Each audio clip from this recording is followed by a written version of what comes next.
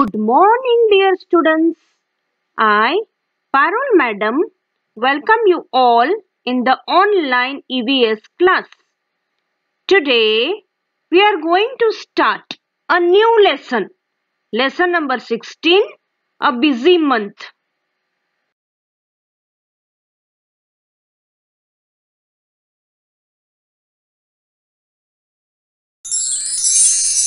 This lesson consists of a letter written by Gijubhai Badheka for children. It deals with information on various birds and animals. This letter inspires or encourages children to observe birds around them.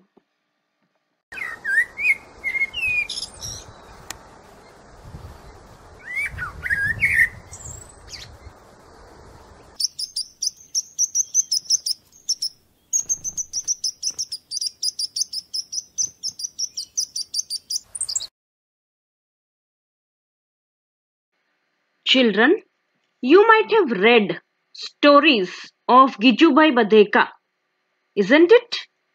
This lesson is a letter written for children by Gijubhai Badheka. He wrote this letter to Bal Mandir, Bhavnagar on 13th April 1936. That is before our country got freedom in 1947. It was 3 o'clock in the afternoon and the sun was burning very hot in the sky. The sparrows, doves and sunbirds started working in pairs to make their nests. Some of the birds had already finished making their nest. In some of the nest, eggs were present, whereas in some other nest, eggs had hatched and small chicks were seen. In some other, parent birds were busy feeding their younger ones, that is their fledgling, means their chicks, with different kinds of insects and other food items.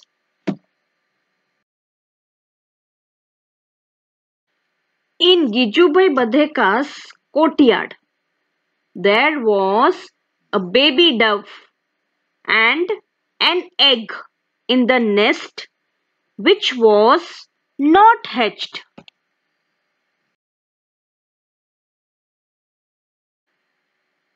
On the way to Gopal Bhai's house, there were many stones along the roadside. In the spaces between these stones, an Indian robin had laid some eggs. The nest of Indian robins are made of grass, soft twigs, roots, wool, hair and cotton wool. There was a baby bird in the robin's nest. This baby bird was sitting with its beak wide open. Its mouth was red from inside. The robin was feeding the baby bird, that is chick, by putting few small insects in this baby bird's open beak. There was a small tree nearby. It had a nest hanging from its branch.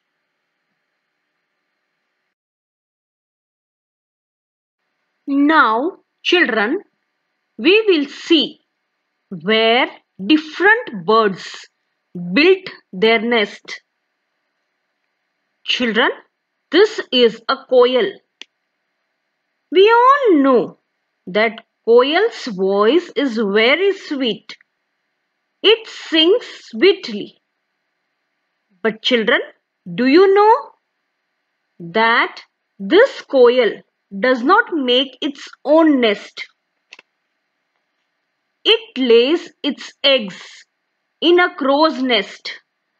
The crow hatches koyal's eggs along with its own eggs.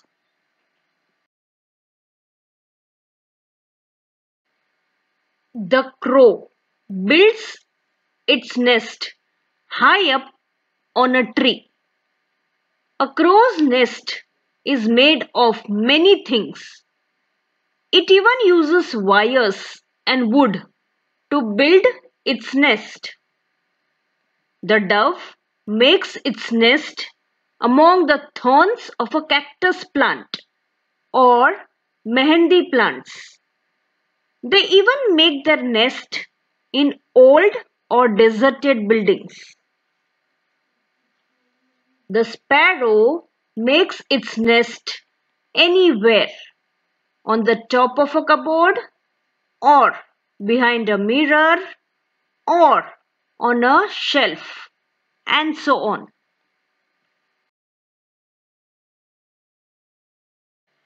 The barbet or coppersmith bird makes its nest in a hole in a tree trunk.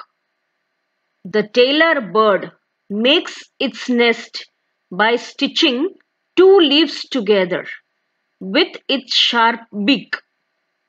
It lays its eggs in the fold of these stitched leaves. The sunbird's nest hangs from the branches of a tree or a bush. The sunbird's nest is made of hair, grass, thin twigs, dry leaves, cotton wool, bits of tree bark, pieces of cloth rags, and spiders' cobwebs.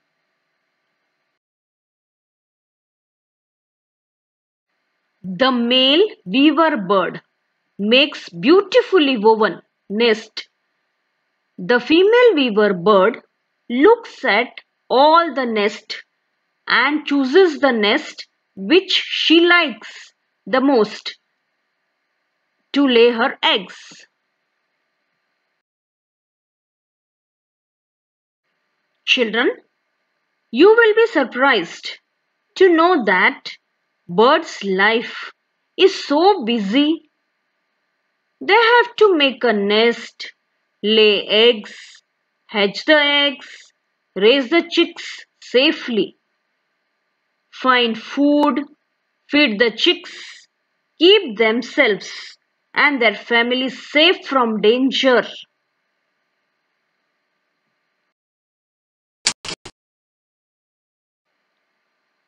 It is a difficult task for the birds to raise their young ones, chicks, in the nest.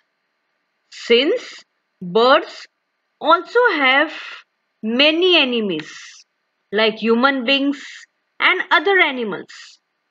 Crows, squirrels, cats and rats, all of them wait for a chance to steal the eggs. Many times they even break the bird's nest but still, the birds sing with joy and spread their wings and fly freely.